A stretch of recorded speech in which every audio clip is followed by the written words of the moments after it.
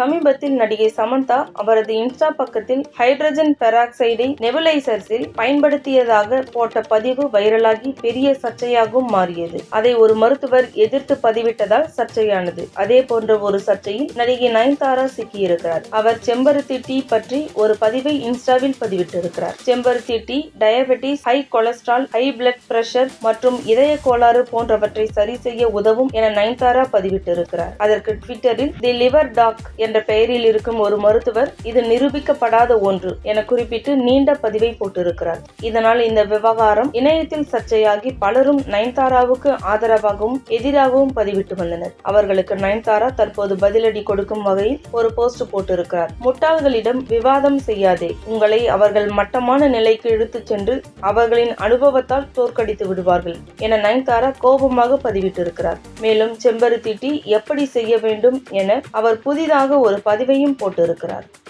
இந்த வீடியோ உங்களுக்கு பிடிச்சிருந்தா லைக் பண்ணுங்க ஷேர் பண்ணுங்க கமெண்ட் பண்ணுங்க. மறக்காம நம்ம சேனலை சப்ஸ்கிரைப் பண்ணுங்க.